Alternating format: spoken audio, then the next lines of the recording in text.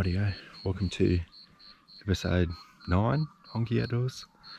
Public land bow hunting today with Beau. Uh, we're chasing some goats with recurve bows. So fingers crossed we can find some ingredients for a curry.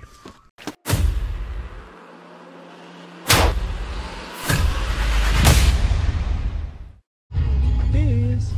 Beers, beers, get, on, the beers.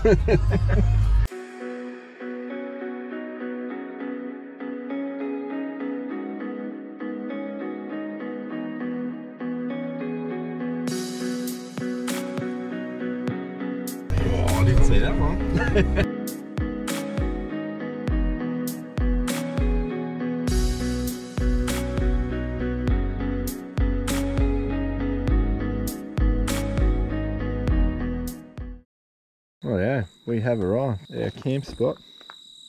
Fire somewhere prepared earlier. Random ass weed.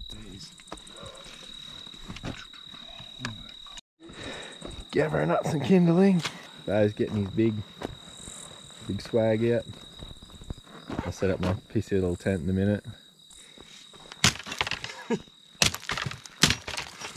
I'll go this way. Jeez, that's dry. Righto, Beau. Shots out, son. Make life easier.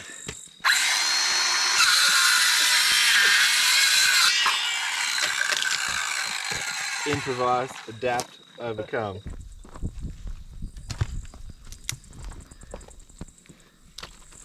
That's the top of your one, eh?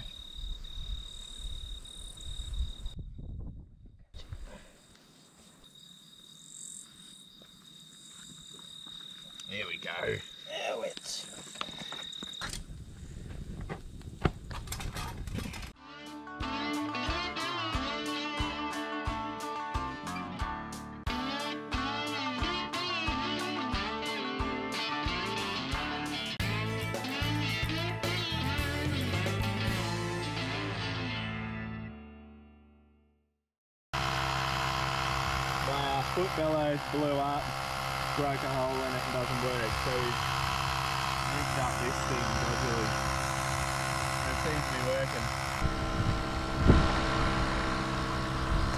Three hours later and my princess pillow is ready.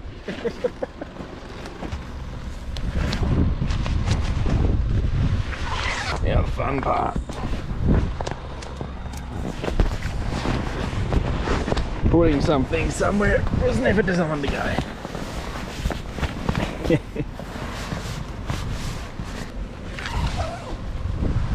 Now we're talking. Not a sponsor. Camp set up. totally not endorsed by Yeti. Or VB. Oh, in VB. Rightio legends. Not sure if you hear me over this wind, but today we're going to make uh, campfire nachos, and I've unashamedly flogged this from a mate's page at the Blonde Nomads. Thanks, Rob. Um, yeah, this is my first time trying this, so hopefully we don't burn the living crap out of it. So apparently the key to this is good layering. Heck kind of implement that? It's a spork. Mark bought me a nice pink one after my other one died.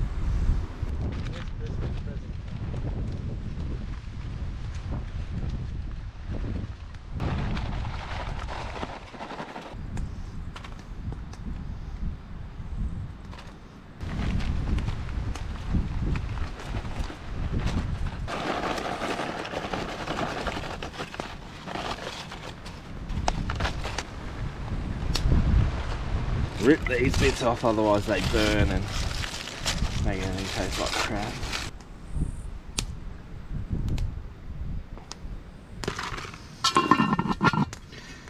Oh, yeah, time to send it.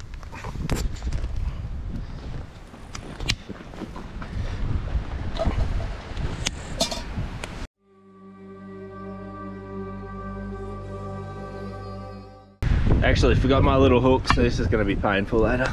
Yeah, that's it. We'd use a tent peg, sticks. Oh, yeah, one. Now we wait.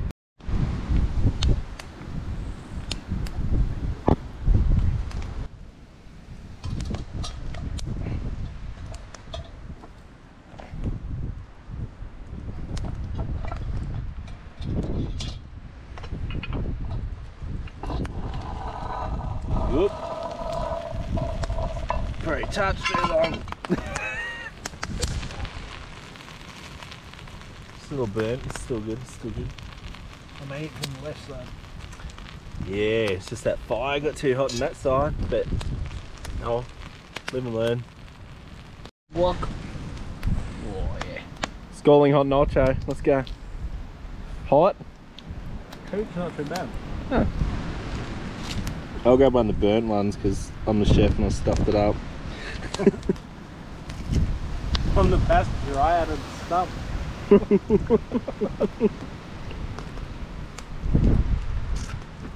the burnt one's good, so. Yummo. Eh? That's got some heat to it. Mm. Tell you what. Chili. Very nice, good.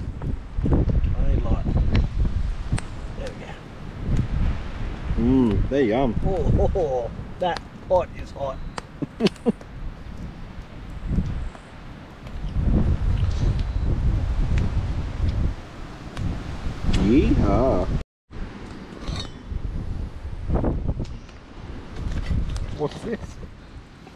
Freshie.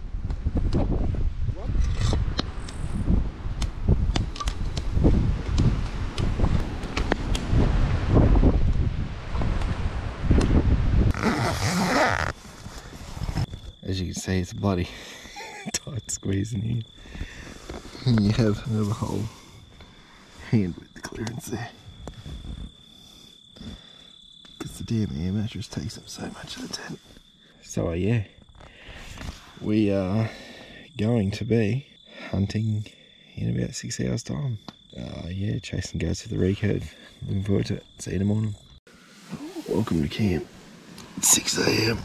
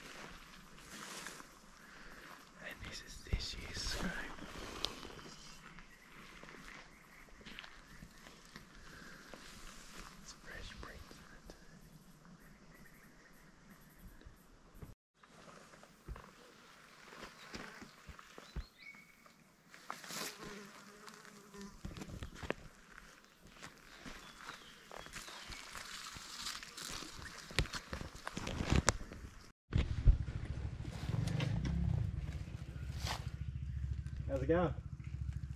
Oh, that's done. That's alright, you're not meant to. It. Yeah, Which way is that? Hey? Which way is that? up the hill. That's alright. Following us up and along. We'll keep an ear out.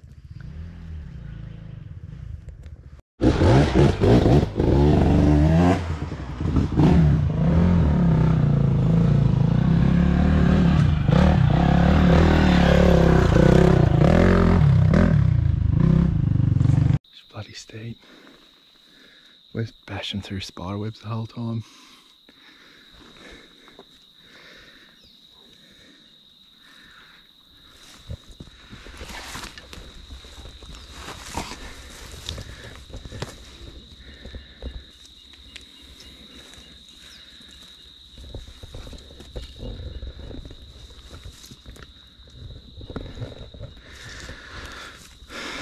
Change our tactics up because some motorbike riders come straight up the trail behind us. So fingers crossed this pays off. So I've picked up a couple of hitchhikers. Funky ass looking spiders I don't really want.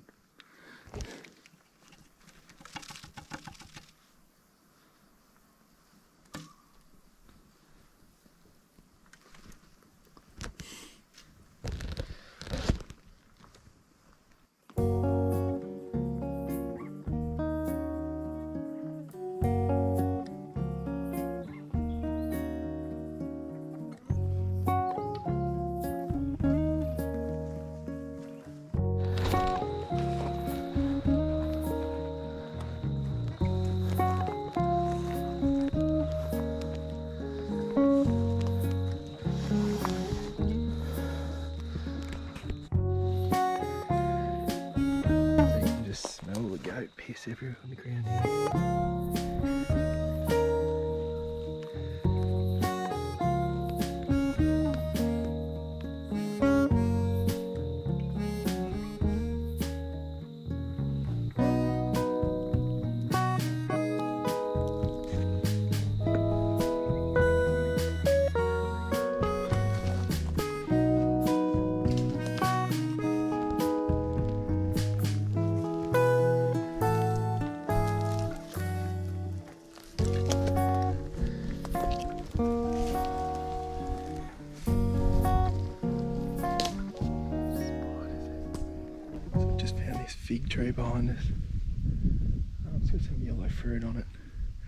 Just gonna go and have a closer look.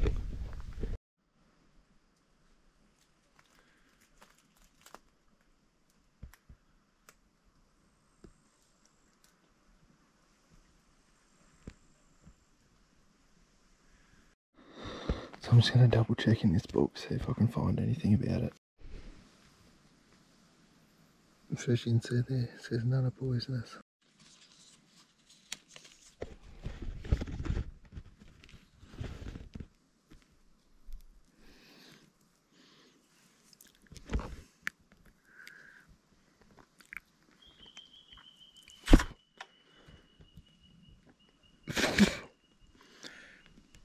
I don't know if this is a ripe one or if they're not ready yet, but this one's just full of tiny little seeds and it's just dry. It smells like a normal fig. Just ordinary.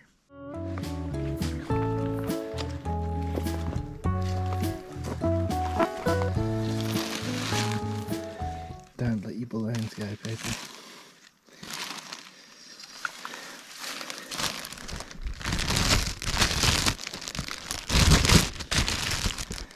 Hey, babe, what do you reckon? Hard part.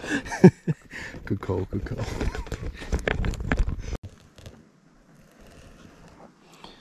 The mountain special.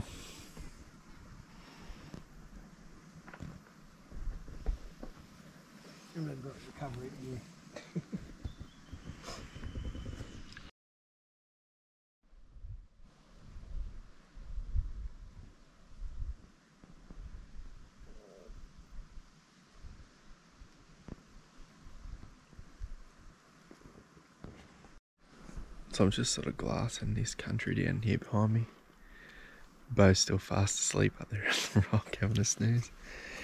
Um, yeah, we heard two goats bleed as soon as we got out of our tents this morning, essentially. And we they were only about probably two, three hundred meters away. And we went exactly to that spot. The wind was good. We were silent, um, and we didn't. We couldn't find them again. But then we were heading up the hill to a spot we like to check out, and we heard a motorbike coming up the track, and then two trail bike riders come up the track. So we came over to another section where we've seen goats before, but it's not it's not the greatest spot for them. Um, yeah, and so sort of put a spanner in the works a bit, but we're going to head back over and check another spot and then come back down another hill that has no trail bike tracks on it. So fingers crossed we can get onto some game on that section of the hill, which is actually the last spot we found goats a couple of years ago um, when the drought was really bad.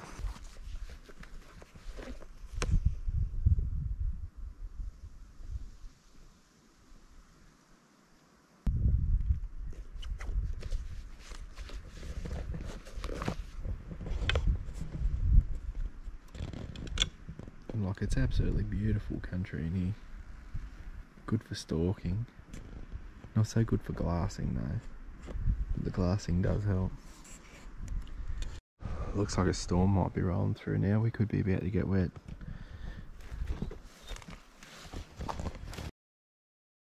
Found some goats. Little ways away. That would have been what was on my hat.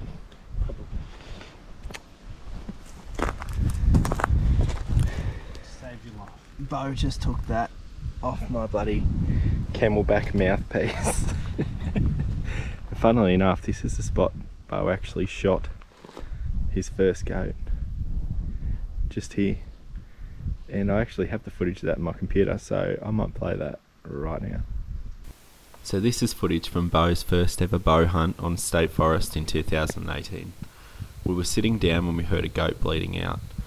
I let out a few responsive calls and we managed to coax it over the hill. As soon as it crested the hill, I ceased calling and allowed it to come into bow range.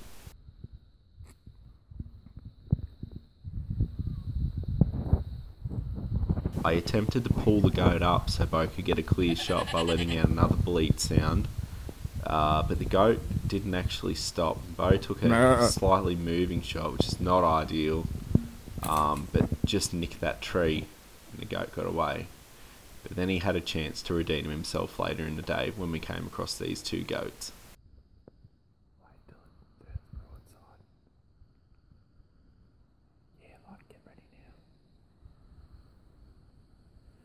Make sure you really settle that bin on.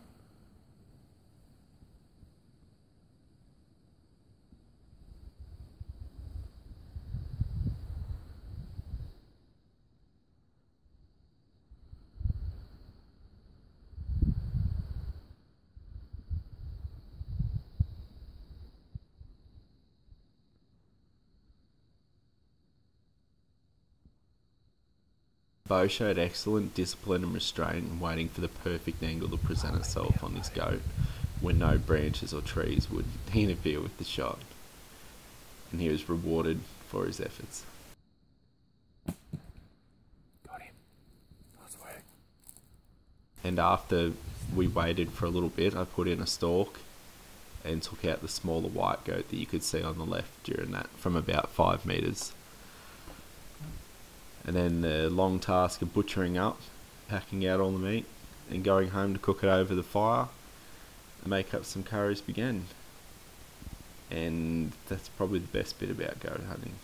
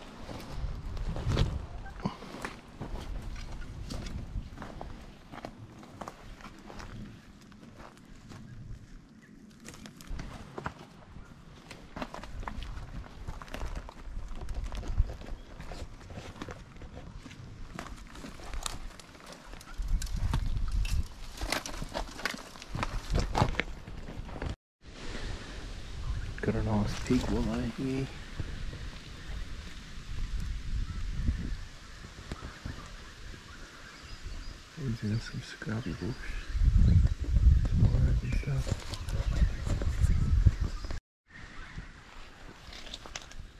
Just found another wallow. Looks a little bit older than the last one though.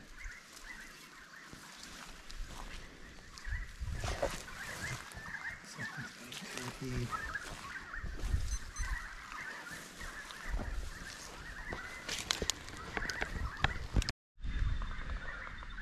Some nice fresh tricks there as well. You can see that tree down there's got some mud on it where they've been rubbing up against it after they come out of the water. So we've just come into a new section we haven't been into before. There's just heaps and heaps of pigs on around.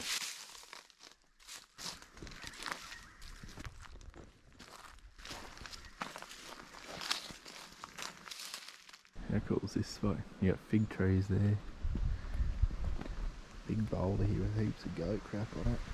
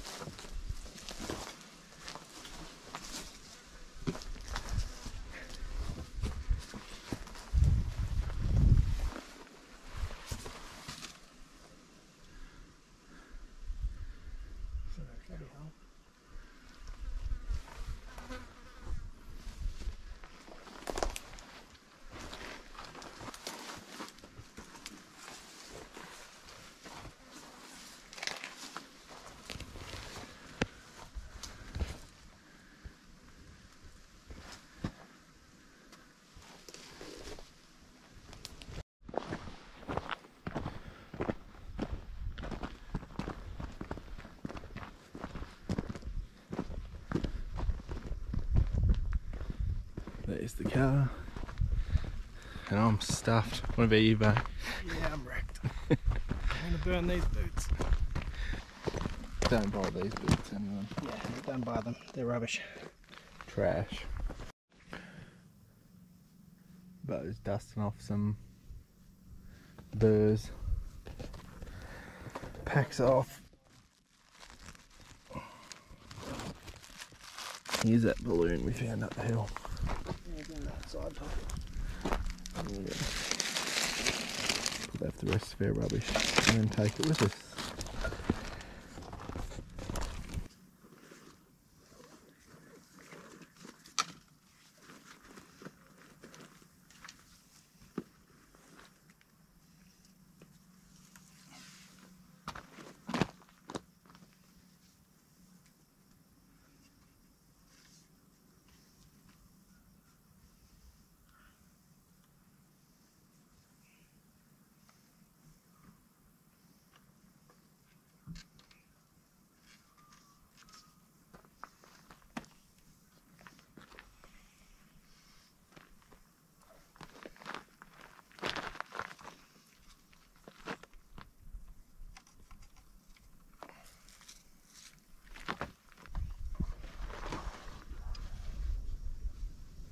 Look, I know people that drive Ford Rangers love coming up here and having a camp, but can you pick your cruiser lids up? It's a bit embarrassing.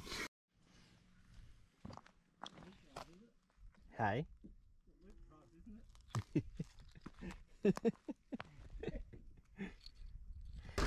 They even provide bins and people still leave rubbish bloody everywhere. So, just a recap, we heard goats first thing this morning, couldn't find the damn things, wind was right, we were quiet, couldn't figure it out. Got all the way up to the top of the big hill at the back, glassed some goats feeding. They were in the state forest, but by the time we would have got to them, they were going to be in the neighbour's property, so we let them go. Um, that's the only thing we saw all day. Pretty much. And that's it. So um, yeah, we're empty-handed this time, but like, subscribe, and I'm sure we'll get something soon enough. In the meantime, I'm gonna have a beer, then we're going home. See yous.